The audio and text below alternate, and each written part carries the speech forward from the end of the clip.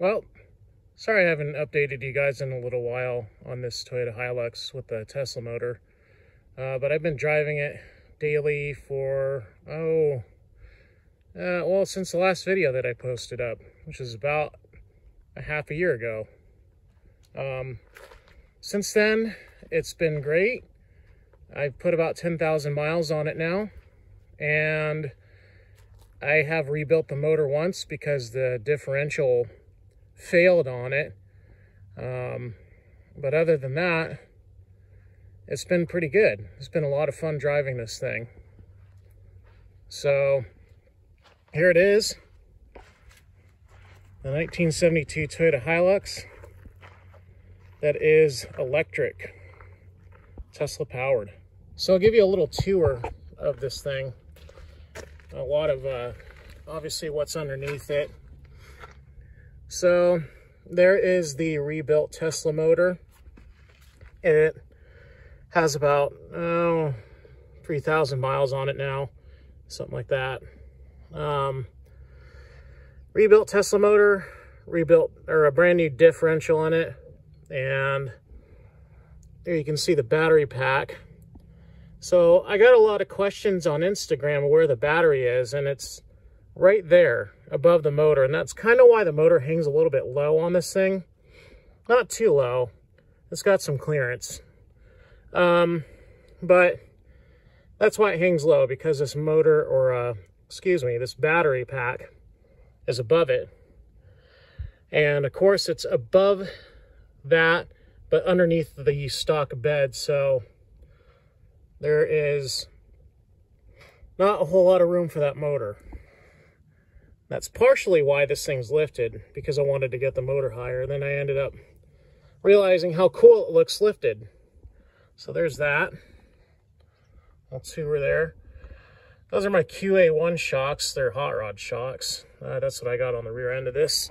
So that works pretty well. Here's this uh, setup from the other side and the De Dion axle that I made. Um, I believe in the, yeah, the first video I did, I uh, went over how I built this thing. Basically just a bunch of box tubing welded together, holding two Tesla Model 3 hubs. And then the axles are Tesla Model 3 and Model S that are carefully welded together. uh, knock on wood, they haven't broke yet. Um, I have a technique for doing that. It's all wrong, but it worked. And also, I wanted to point out this uh, bar right here. That is a stock Toyota um, proportion valve. It has this uh, long arm that goes to the rear end, and normally that would be bolted to the stock uh, rear end. And what it does is when your suspension, uh, when you have a lot of weight in the bed of a Toyota pickup, the suspension obviously sags down. And so that bar pushes up on that bias valve and gives more rear uh, brake proportioning as opposed to the front. So I uh, I didn't want to lose any of that stuff because I have a stock Toyota brake uh, master in here. And so I kept all of that stuff and uh, just bolted it back to the DDM and made that work. So you can see that's where the battery ends right here. And that's right where my cab starts uh, or ends, I guess you would say. Um, don't mind my messy wiring. Uh, right there is the high voltage junction box. And I have a bunch of, uh, oh, I have 400 volts coming from the battery pack uh, back there to this junction box. And that junction box has uh, three different things coming out of it. One 400 volt source for the heater, and that's controlled by a contactor, which is controlled by a toggle switch in the truck. And the other two are going to the DC-DC and the charger up front. And this is where I have my high voltage fuses as well. So in case any of those pop, I crawl under here and, and change them. And then you can see it's oddly vacant up here. There's usually an engine, a transmission, uh, but that's all gone. Oh, one other thing, if you notice, why does a 1972 Toyota pickup have torsion bars on it? Well, there's a secret. This thing's actually sitting on a 1989 Toyota pickup chassis. And I did that because I wanted all the modern stuff, all the modern running gear, modern brakes, and when I need brakes and rotors, I can go to O'Reilly's or AutoZone or Napa and go pick up my Raybestos special brake pads that would be in stock. So there's a lot of reasoning, but that's one of them. And you can see that. There's all the torsions. Okay, let's take a look at the front. So here we are in the front end, and you can see that there is a lack of a gas engine. Amazing. Anyway, so to begin with, I guess we could start with this side. On this side, we have the DC-DC, and this is uh, a stock Tesla DC-DC that came out of a Model S. And you have high voltage coming in here, low voltage 12 volt coming out of there, and uh, the enable wire that comes out of there. And that's all you need for that thing to work. I guess you could call that your uh, electric car alternator. That's what that thing does. Gives you 12 volts power. And I get I get asked this question a lot. Why does an electric car have 12 volts? Well, glad you asked. It has 12 volts because all the contactors and everything inside of a car is still 12 volts.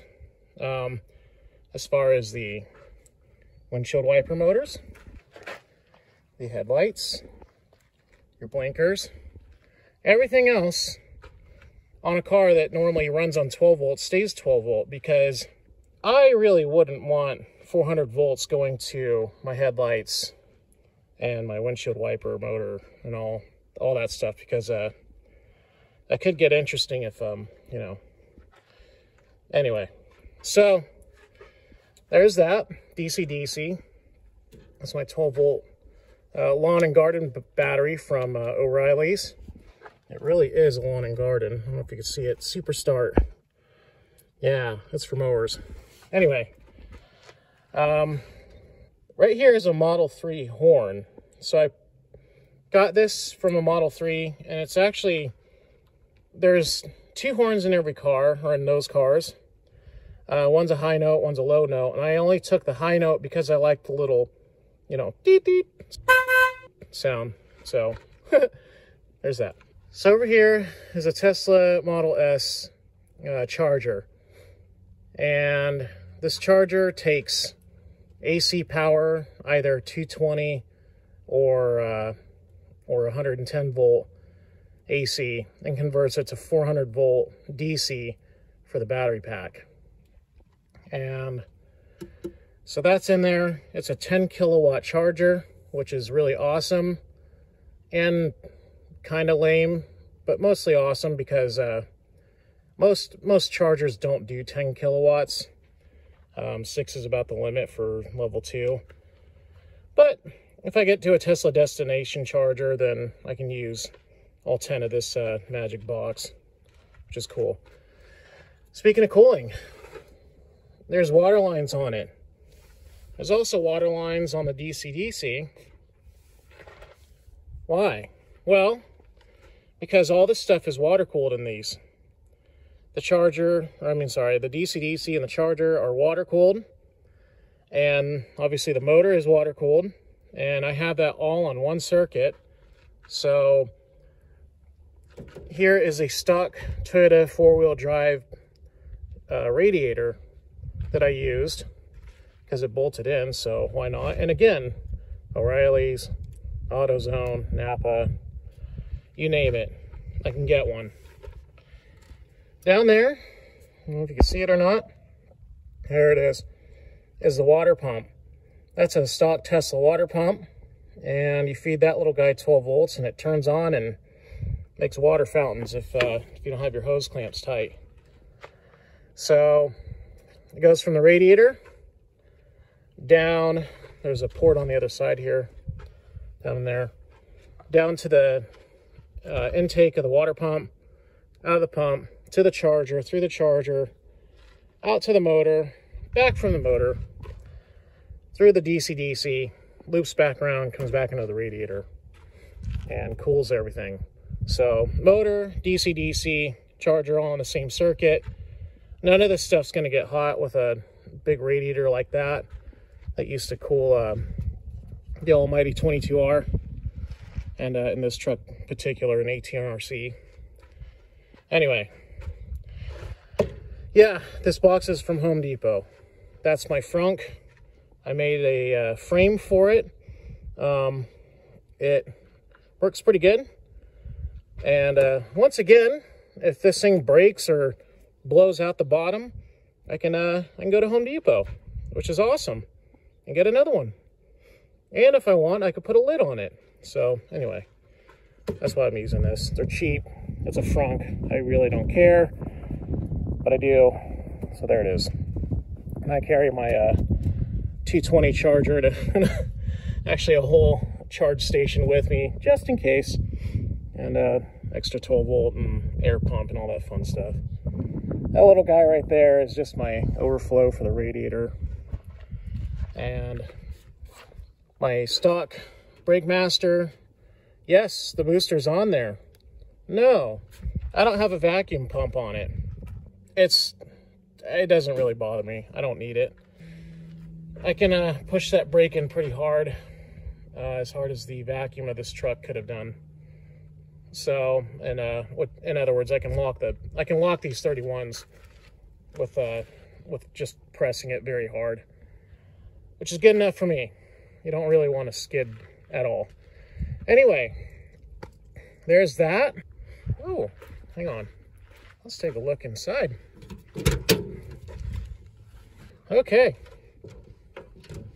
The interior. I don't think I've showed too much of this. So I have a couple of Kirkey seats in here. Um, race edition. That's all they make, I think. They suck. My back is really screwed up right now because of these things, but they look really cool. And there's a problem with these little trucks from Japan in the 70s.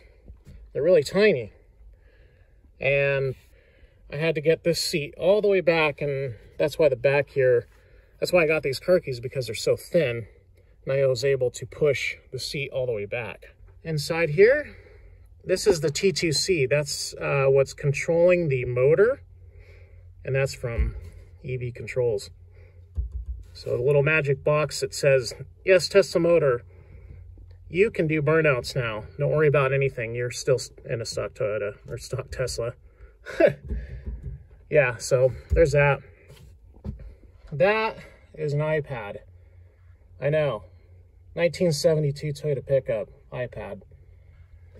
Anyway, I don't care. I want some modern, you know, gizmos in here. So, what's on here? Let's take a look. This is how my dash looks. Um, you have all these different parameters. You can see motor temp over there. That's usually talking about, uh, oh, what is that looking at? inverter temp, or I'm sorry, is it? Oh yeah, it's looking at inverter temperature over there. To the right is voltage, pack voltage. That first gauge on the right over here is RPM of the motor. That gauge over there is the kilowatts going to the motor. So basically your, your torque, if you want to look at it that way. And yeah, there's all sorts of things on here. Um, it's kind of cool. I can see literally everything. I have my 12 volt. I can see if uh, if my DC-DC is broken or not. All sorts of good stuff in here. Peak amps, uh, tutor, whatever. I floored it. Anyway, um, this is my emergency stop. I've been told that, oh, you don't need that. The first day I drove this, I got a little squirrely and I punched that thing as hard as I could. yeah, I need it. Um, a dash delete, I guess you would call it. Um, carbon fiber piece of plate. And then a cool racing steering wheel because why not? That column is from the 89 chassis. I had to move it up and, um, well, just up and away from me. Up, up, and away. Door speakers that I had to install. Uh, obviously, these trucks didn't come with that sort of thing. Here's a cool little thing. So, here is the uh, stock heater box that I completely rebuilt because it had mold and all kinds of good, you know, gizmos in there. Anyway, pulled the stock heater core out of it, put it in a smart car heater core that uh, fit really well, surprisingly. And then I powder coated the whole thing, rebuilt it. And this sucker makes this cab screaming hot. So it's nice during the winter. I like it. So glove compartment, other door panel, other speaker. Works great. Okay, well, uh, that about concludes it for this video. It's really bright out here. I should have run uh, sunglasses, but I didn't. Anyway, I hope uh, that was inspiring and that you got some information about how to build one of these things, or at least some ideas about how to do it. Maybe in future videos, I'll do stuff on uh, more on how some of this, the components in these things work. Uh, other than that, thanks for watching. Let me know maybe in the comments down below of uh, what things you, you guys want to learn about. So uh, till then, thanks. Bye.